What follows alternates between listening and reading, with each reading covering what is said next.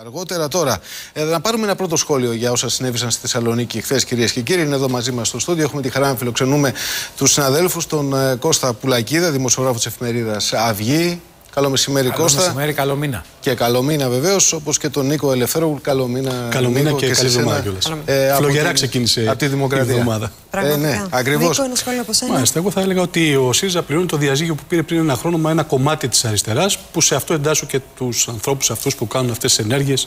Δεν συζητάμε ότι είναι καταδικαστές. Απλώς λέω να αντιμετωπιστούν με βιβλική αντιμετώπιση. Δηλαδή, ο Χριστός θα τους συγχωρούσε.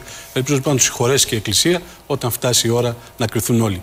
Λέω όμως ότι ο ΣΥΡΙΖΑ πληρώνει πραγματικά για να περάσουμε στο πολιτικό σκέλος και αυτό ενδιαφέρει το, τους πολίτες, την κάλυψη, εισαγωγικά θα πω, πολλών στελεχών τους σε έκνομες ενέργειες. Και είναι η ώρα και αυτοί θα κρυθούν. Και το μάζεμα και η επίθεση που είναι στον κύριο Τόσκα δεν είναι η πρώτη. Έχουν προηγηθεί και άλλες επιθέσεις mm -hmm. στον Υπουργό Δικαιοσύνης στο παρελθόν. Δηλαδή είναι μια τακτική ενός τμήματος που ανήκει στην αριστερά της αριστεράς του ΣΥΡΙΖΑ που καρπώνεται αυτές τις ενέργειες. Μάλιστα. Νίκο. Εγώ θα έλεγα ότι ο Ερντογάν δεν αλλάζει την πολιτική του με βάση το πραξικόπημα. Ε, το ότι θα πίεζε την Ευρώπη με αφορμή τη βίζα το έχει ξεκαθαρίσει το και πάρα πολύ καιρό. Mm -hmm. Δηλαδή από την πρώτη στιγμή που έκανε τη συμφωνία με τους εταίρους είχε βάλει τον αστερίσκο αυτό ότι αν δεν μου δώσετε το θέμα της βίζα για της ελεύθερης διακίνησης των Τούρκων πολιτών ε, στην Ευρώπη δεν θα προχωρήσουμε στη συμφωνία. Αυτό ήταν και ένα αποτέλεσμα που το πλήρωσαν οι Βρετανοί στο Brexit. Αν θυμάστε, ήταν το, το πρώτο που είχαν κάνει σημαία τότε οι ευρωφοβικοί, αν πούμε έτσι, οι ευρωσκεπτικέ, ότι θα γεμίσει η Μεγάλη Βρετανία με μουσουλμάνους.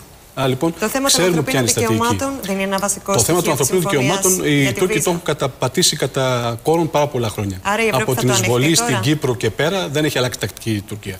Και το συνεχίζει και στο εσωτερικό της πια. Mm -hmm. Θεωρώ λοιπόν ότι δεν θα δώσουν οι Ευρωπαίοι την ελεύθερη βίζα, θα την δώσουν με αστερίσκους πάλι με διάφορους τρόπους και τερτύπια. Έχει τελειώσει, Αυτό... σήμερα που συζητάμε, έχει τελειώσει το θέμα της βίζας. Δεν υπάρχει θέμα βίζας. Έχει, έχει φύγει δηλαδή την ατζέντα πια έτσι. Συγγνώμη, τώρα σε διακόπτω. Ναι, δεν πειράζει, ελεύθερο. Λέω λοιπόν, το πρόβλημα με την Τουρκία είναι αν θα κάνουν εξαγωγή της κρίσης του στην Ελλάδα. Mm -hmm. Αυτό μας προβληματίζει και αυτό μας φοβίζει. Πολύ καλές οι δηλώσεις του κ. Γιούνκερ ότι δεν θα πάρουν τη βίζα ή θα την πάρουν με όρους ή αν αλλάξουν τα ανθρώπινα δικαιώματα. Το θέμα είναι ότι οι Τούρκοι ήδη ξεκινούν να εξάγουν πάλι το πρόβλημα προς την Ελλάδα. Γιατί η Ελλάδα έχει το πρόβλημα.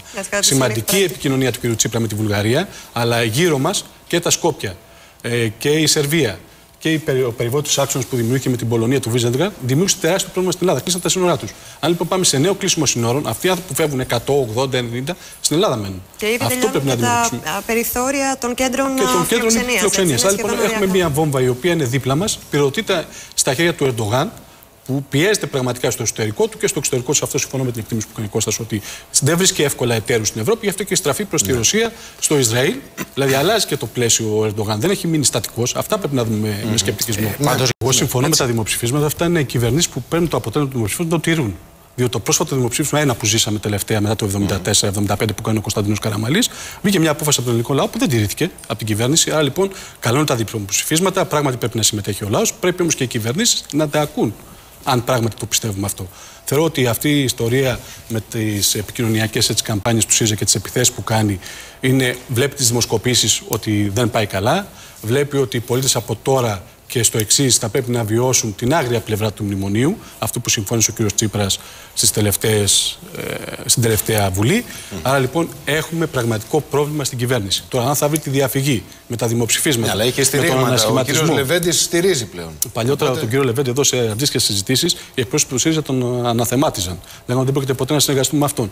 Έχουμε, θα δούμε. Έχουμε, πολλ... έχουμε πολλές εξελίξεις μπροστά μας από το Σεπτέμβριο, αλλά το κυριότερο είναι αυτό που ζουν οι πολίτες και αυτό που ζει η οικονομία. Δεν μπορεί και ήταν πραγματικά αποκαλυπτικό το ρεπορτάζ καθημερινής χθες ότι το 50 έως 70% των εισοδημάτων των πολιτών πάνε στο δημόσιο και στην εφορία. Αυτό, αυτό είναι το πρόβλημα της οικονομίας.